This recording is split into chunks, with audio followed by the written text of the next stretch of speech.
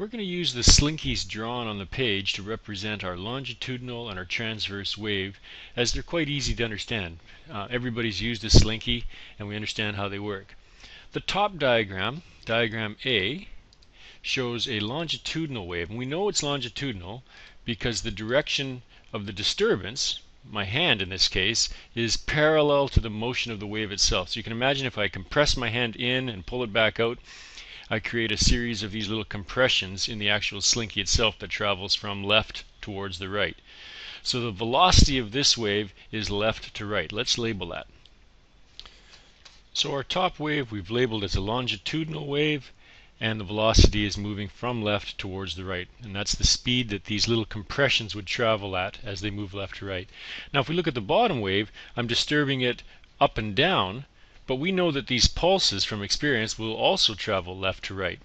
So if the disturbance is perpendicular to the direction of motion, we say that is a transverse wave. Let's label that one. Alright, so we've labeled our longitudinal wave on the top and our transverse wave on the bottom. Now, the wavelength is defined as the distance over which the wave repeats itself. It's the length of one complete wave. And in the diagram on the bottom, on our transverse wave, we define it as the distance from trough to trough. It would also be the same as the distance from crest to crest, or wherever the wave repeats itself.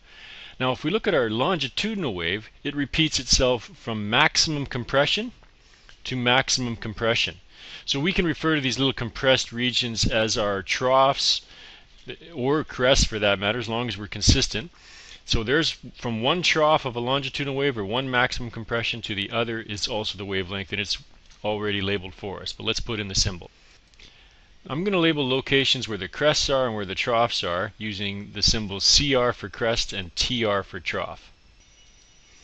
Now we also need to define the amplitude of the wave. And the amplitude is simply the distance from the equilibrium position of the wave or where the wave would eventually die down to, so the natural position of the slinky, so it's the distance between the equilibrium and either a crest or a trough.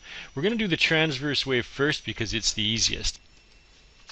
Okay, so you've seen I've labeled the amplitude of the transverse wave, and it's the distance from my dotted red equilibrium line, which is horizontally down the middle of the wave, to either the peak of a crest or the bottom of a trough. So those two amplitudes would be the same. It's not from crest all the way down to trough, it's from crest to equilibrium or from trough to equilibrium.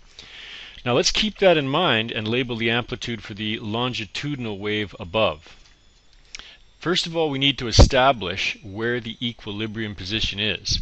Now here we can see that the equilibrium position is actually halfway in between a crest and a trough. So where the waves are roughly at the halfway point between a crest and a trough would be where they all sort of die down to after the wave is done, after it damps out. So if we do use the same logic above, there's our crest, there's our trough, and halfway in between would be the normal spacing of the slinky. So our equilibrium position would be the halfway point between the crest and the trough. Let's label that now. So you can see I've labeled a couple of locations where there's equilibrium.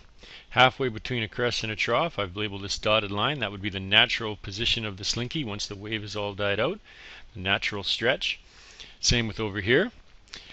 Now an amplitude is the distance from this equilibrium line to either a crest or to a trough. So let's label that now and that completes it. Okay. So we see our amplitude is labeled from, from our equilibrium line, this red dotted line, to a trough, or from the equilibrium line to a crest. That's how we label the amplitude on a longitudinal wave, a little bit different.